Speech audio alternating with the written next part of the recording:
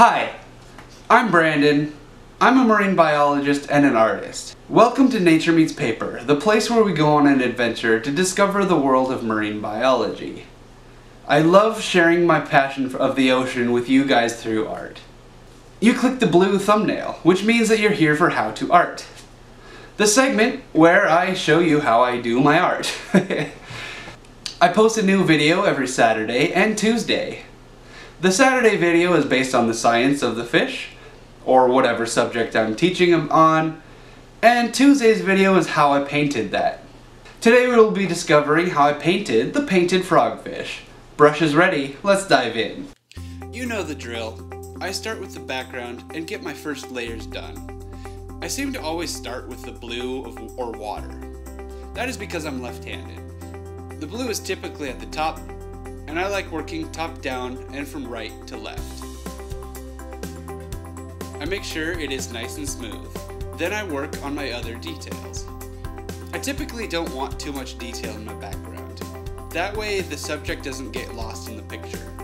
I do like the look of a fish being on bright white, like it's in a light tank, but I also like giving it a place to live. On this piece, I made the mistake of putting a layer of black down first. This makes it hard to lighten up. I'm not afraid of mistakes if I can learn from them. For the sediment, I used a filbert brush. I made sure I was loose with my strokes. I just placed texture to look like fine sediment and small rocks. The great thing about a filbert brush is that it creates a sharp rounded edge of paint that fades and blends into the other colors. This is great for rocks. After I finish with my first layers of sediment, I go back over my coral.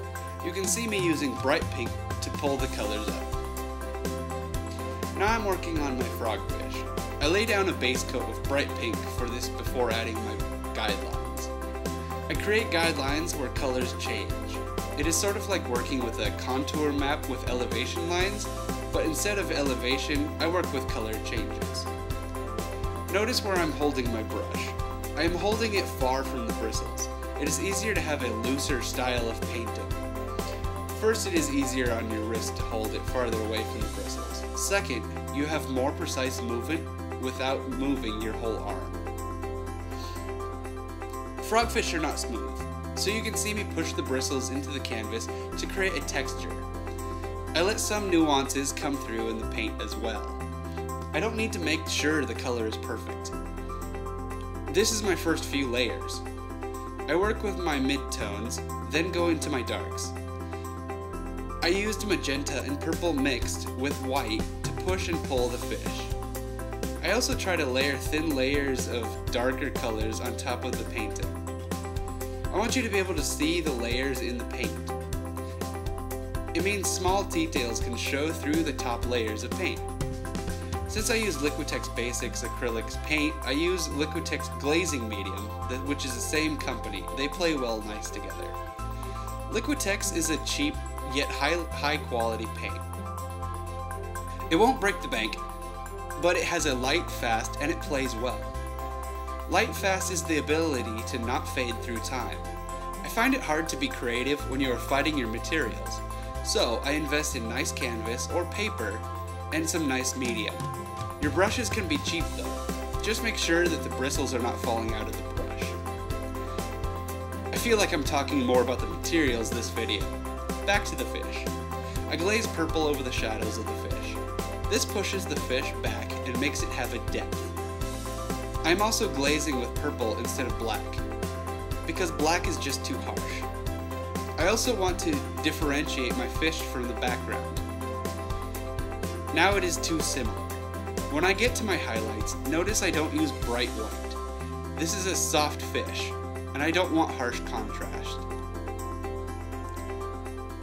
When you see me add bright white, I will glaze over it with a thin layer of magenta. Make sure to let your layers dry between applications. When the paint starts to stick or not play well with the previous layers, it is time to stop for a while. Give it a few hours. These paintings take several days, not just a few hours. I noticed that my painting was getting too dark, so I glazed over the whole thing a tiny bit of white and magenta. This does two things. It softens the fish, and it lightens the fish. Unfortunately, it means I need to wait again. Once that layer is dry, I go over some dark shadows. Be careful here, it is easy to overdo details. Then I go over to the places with highlights. Here I use bright whites. I add details to the eyes using a liner brush on the bright white.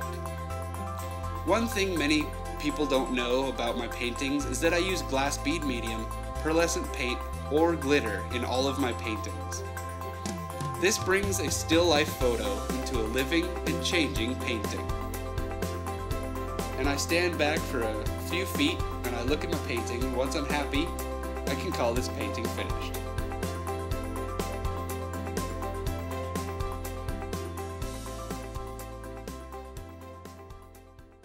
Thanks for watching this video. It means so much that you take time to watch this video to discover something new. Whether you're here just to learn how to do some art or get to know me a little bit better. I also would like to thank you for being an active member of this community by leaving likes, comments, shares, and subscriptions. It helps this channel grow. I sell merchandise on my website and teespring.com. Links are down below. If you haven't seen last Saturday's video, click the little eye up in the corner and that'll take you to that video. Happy creating and God bless.